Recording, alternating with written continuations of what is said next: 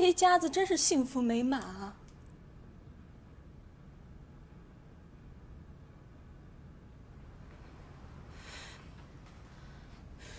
毛丫丫，你又来和我抢向辉了是不是？你可真是我的好闺蜜啊！在我生活最艰难、最活不下去的时候，你还来抢我最心爱的男人。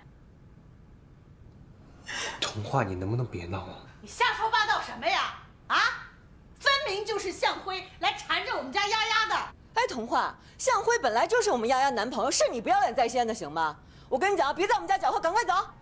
妈，嫂子，你们别管了，这是我跟童话之间的事情。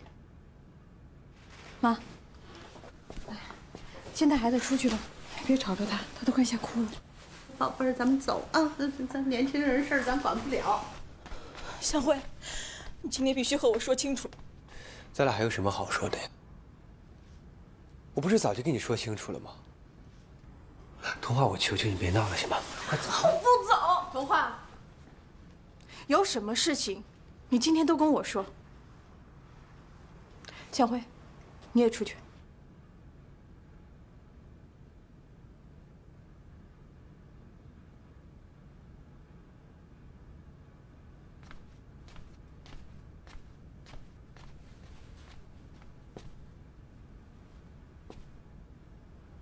说吧，丫丫，你能不能告诉我，我们之间怎么会变成这样？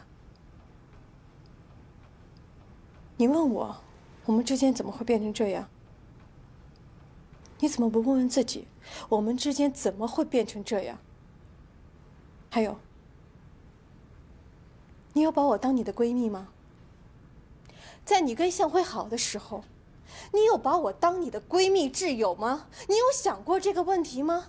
我有，我一直都在想。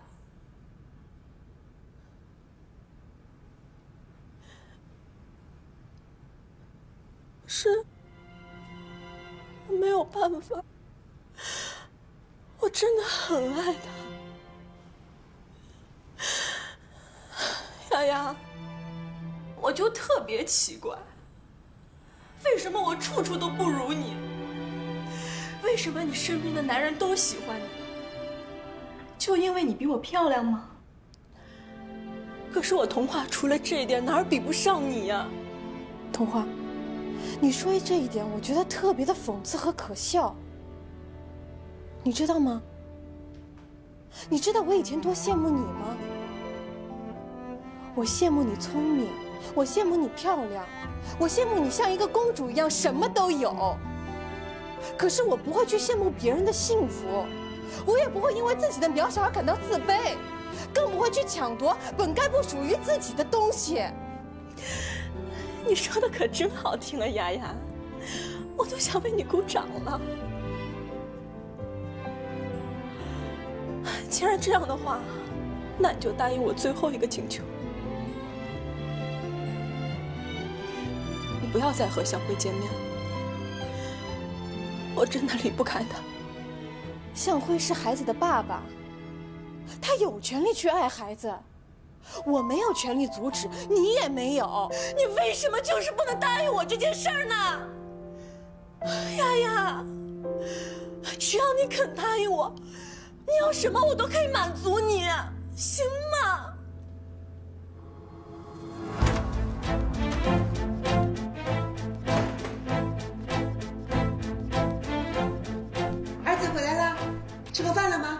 吃了。哦。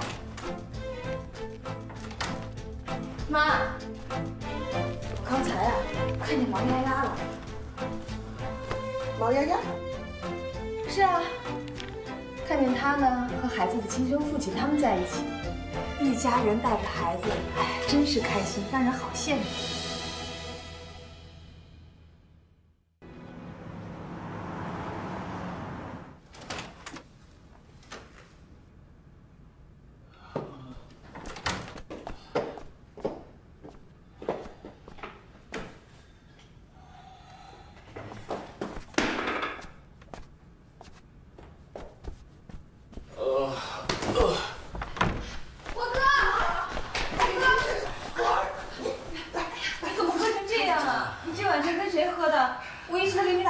不接。你们怎么都还没睡？没睡，没睡，都在等你，都在等你啊！去，赶紧的，去把火哥煮那个解酒茶，解酒茶啊！好。为什么喝这么多呢？妈，我好难受，我心里面好难受哦。妈妈知道，妈妈知道你难受，你不要这样，这样子妈妈会更难过，知道吗？我心里好难受。乖乖，一会儿喝了解酒茶，你就会很舒服哈。来，现在妈妈扶你去房间，来，起来，把手给我，把手给妈妈。小心擦肩，嗯。小心擦肩。妈，要不然我来吧。你能不能不要跟着我们了？你看见没有，他有多么的伤心，多么难过。如果你真心对他好，你还有良心的话，我求求你，你给他一点私人空间好吗？我谢谢你。来，乖。你们都能看见自己的痛，我的呢？你们谁能看见我的心在流血？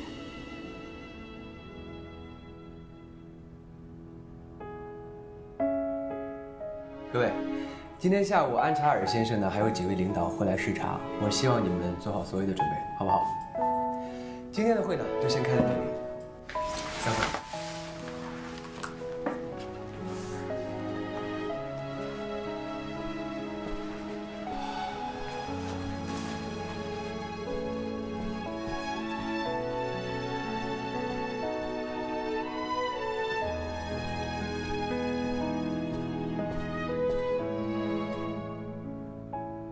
刘火，你没事吧？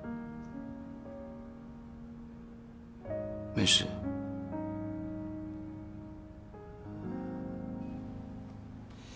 安查尔先生呢，挺看好你的，我希望你做好所有的准备，别让他失望。嗯。